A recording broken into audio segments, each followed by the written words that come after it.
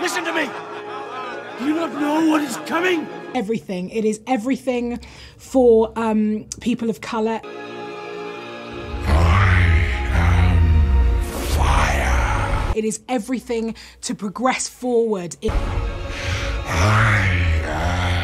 a woman of colour, everyone was cast because they were the putting our messages in, into this movie, but we thought that we should honour Tolkien by putting his messages into it.